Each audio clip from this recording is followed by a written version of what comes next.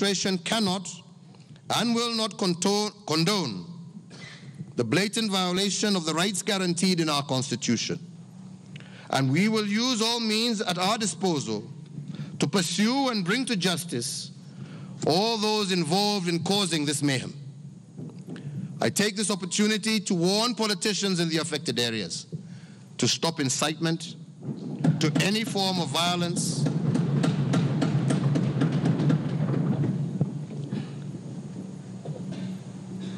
to any form of violence, for you will indeed be held to account.